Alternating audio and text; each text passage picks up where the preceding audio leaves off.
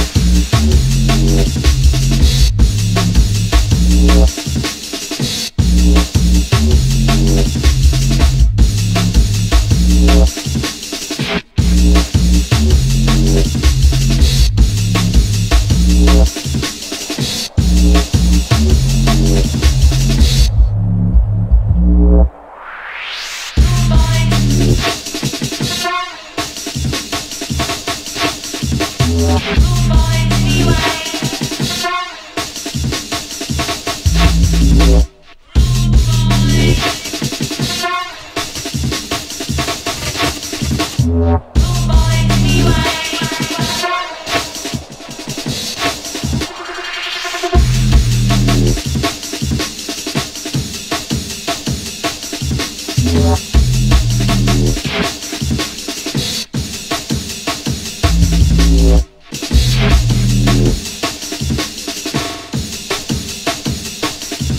Yeah.